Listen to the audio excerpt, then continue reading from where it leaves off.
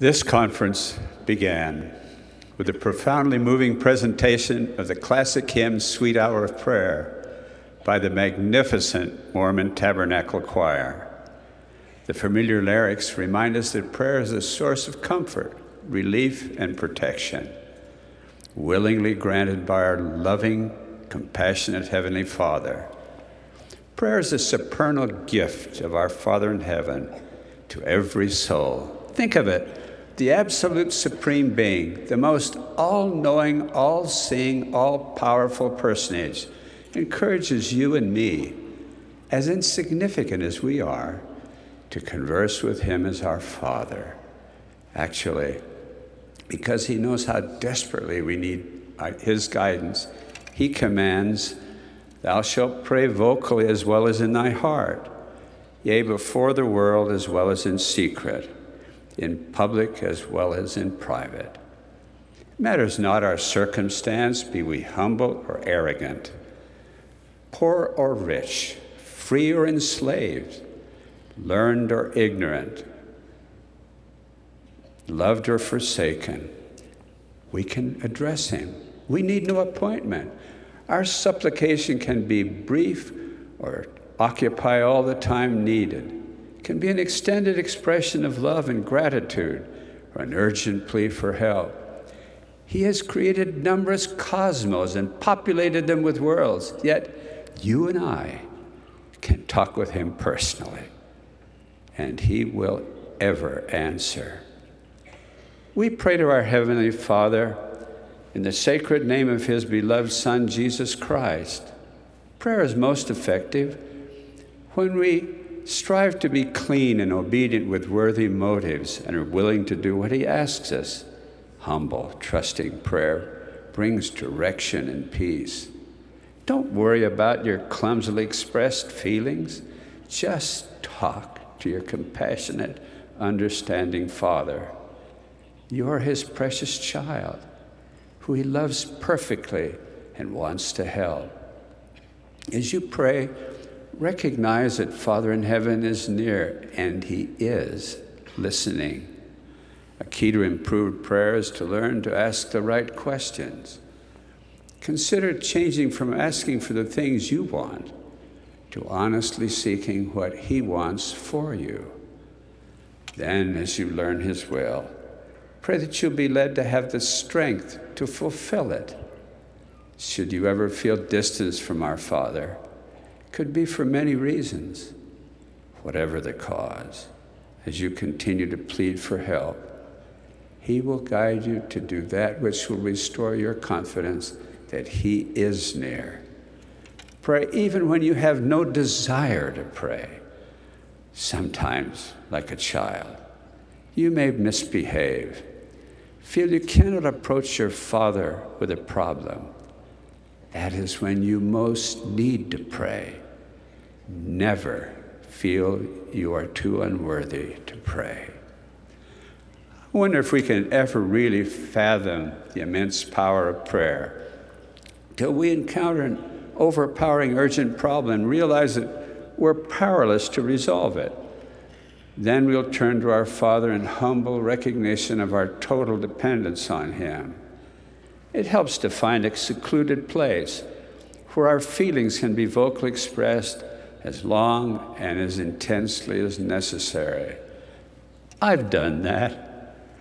Once I had an experience that caused me immense anxiety. It had nothing to do with disobedience or transgression, but with a vitally important human relationship. For some time, I poured my heart out in urgent prayer, yet try as I might, I could find no solution, no settling of the powerful stirring within me. I pled for help from that eternal Father that I've come to know and trust completely. I could see no path that would provide the calm that I, my generally my blessing to enjoy. Sleep overcame me. When I awoke, I was totally at peace. Again, I in solemn prayer and ask, Lord, how is it done? In my heart, I knew the answer was His love and His concern for me. Such is the power of sincere prayer to a compassionate Father. I've learned much about prayer by listening to President Hinckley offer supplications in our meetings. You can also learn from him by carefully studying the exceptional public prayer he offered at the conclusion of the October 2001 conference for fathers' children throughout the world. He prayed from his heart, not from a prepared manuscript. Study that prayer and you'll find that there are no vain repetitions, no posturing to impress others, as sometimes occurs. He combines simple words eloquently. He prays as a humble, trusting son who knows well his beloved Father in heaven.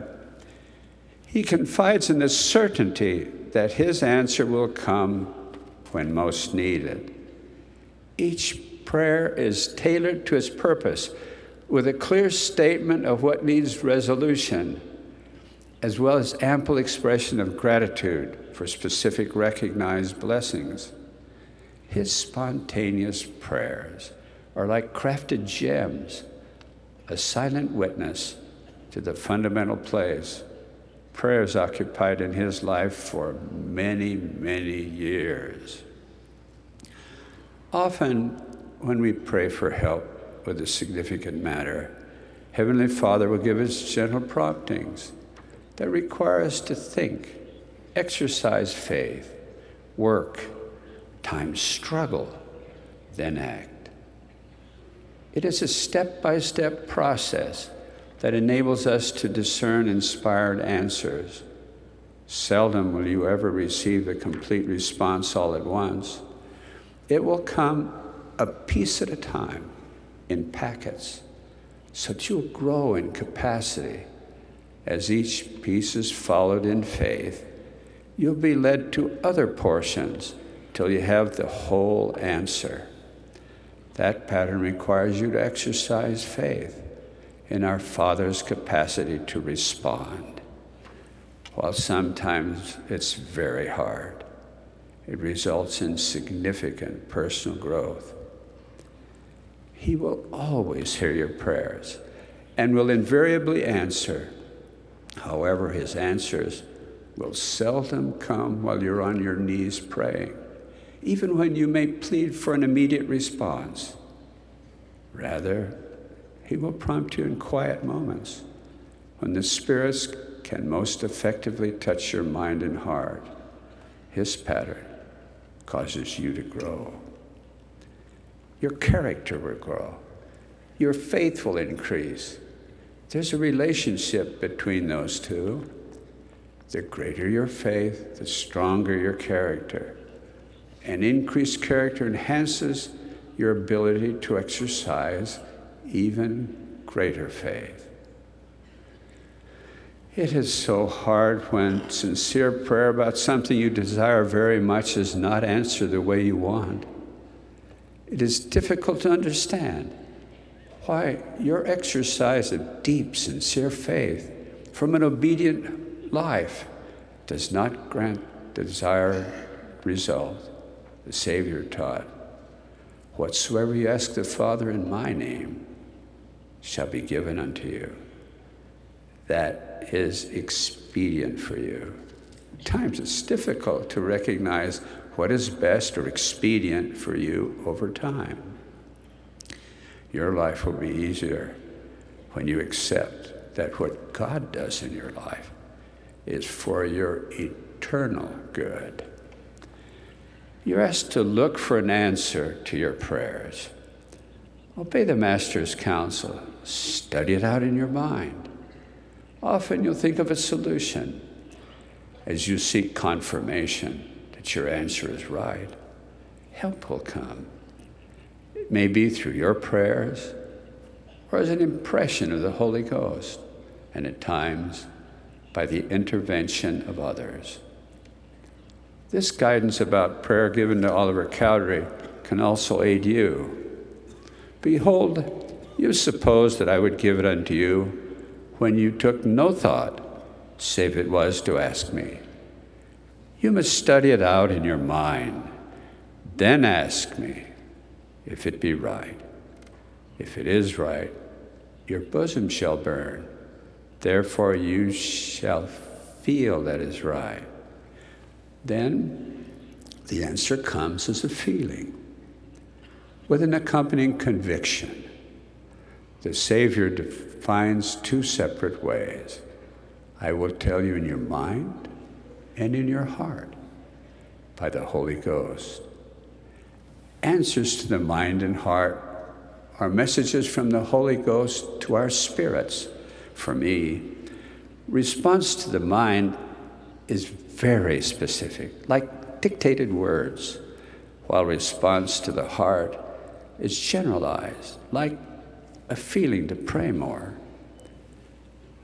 Then the Lord clarifies, but if it not be right, ye shall have a stupor of thought. That for me is an unsettling, discomforting feeling. Oliver Cowdery was taught another way in which positive answers come. Did did I not speak peace to your mind concerning the matter? The feeling of peace is the most common confirming witness that I personally experience. When I've been very concerned about an important matter, struggling to resolve it without success, I continue those efforts in faith. Later, an all pervading peace has come, settling my concerns as He has promised. Some misunderstandings about prayer can be clarified by realizing that the scriptures define principles for effective prayer, but they do not assure when a response will be given. Actually, he will reply in one of three ways. First, you can feel the peace, comfort, and assurance that confirm that your decision is right. Or second, you can sense that unsettled feeling, the stupor of thought, indicating that your choice is wrong. Or third, and this is the difficult one, you can feel no response. What do you do when you have prepared carefully, prayed fervently, waited a reasonable time for response, and still do not feel an answer? You may want to express thanks when that occurs, for it's an ever evidence of His trust. When you're living worthily, and your choice is consistent with the Savior's teachings, and you need to act. Proceed with trust. As you're sensitive to the promptings of the Spirit, one of two things will certainly occur at the appropriate time. Either the stupor of thought will come, indicating an improper choice, or the peace or the burning in the bosoms will be felt confirming that your choice was correct. When you're living righteously, interacting with trust, God will not let you proceed too far without a warning impression if you've made the wrong decision. An important aspect of prayer is gratitude. When we contemplate the incomparable gift of prayer, and the limitless blessings that flow from it. Honest appreciation fills our mind and heart to overflowing with thanksgiving.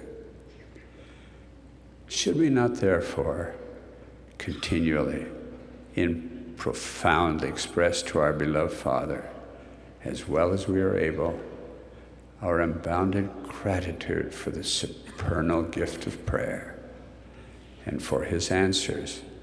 that meet our needs while motivating us to grow. I testify that our Father will always answer your prayers in the way and at the time that will be for your best eternal good. In the name of Jesus Christ, amen.